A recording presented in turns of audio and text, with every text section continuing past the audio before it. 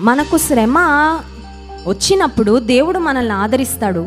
దేవుడు మనల్ని ఆదరించేది ఎందుకంటే మనం ఆదరణ పొంది కంఫర్ట్ పొందుకొని రిలాక్స్ అయిపోవాలని కాదు కానీ నీలాంటి స్థితిలో ఇంకెవరైనా ఉంటే వారికి వెళ్ళి నీవు ఎటువంటి ఆదరణ పొందుకున్నావో అటువంటి ఆదరణను అందించాలని మన కష్టంలో దేవుడు ఎవరినో పంపిస్తాడు. మనకి సహాయం చేయడానికి. అప్పుడు మనం ఏం చేయాలంటే ఇంకొకళ్ళు అటువంటి కష్టంలోనే ఉండి మనకు తారసపడినప్పుడు నాకెవరో సహాయం చేశారు నా కష్ట పరిస్థితులు. ఇప్పుడు మీరు నాకు వచ్చిన కష్టం లాంటి కష్టంలో ఉన్నారు. మిమ్మల్ని నేను ఆదరిస్తాను అని చెప్పగలిగితే అది నిజమైన దేవుని ప్రేమ అది నిజమైన దేవుని మనసు. హలెలుయ అందుకే క్రైస్తవుడు ఎప్పుడు పొందుకునేవాడు కాదంట.